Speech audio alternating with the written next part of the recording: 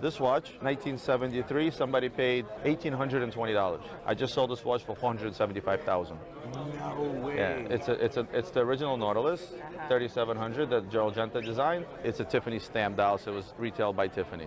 Is it a good investment? It's still not a good investment because in 1973, if you take $1,800 and park it in the market, how much money is that today? It's more than $450,000.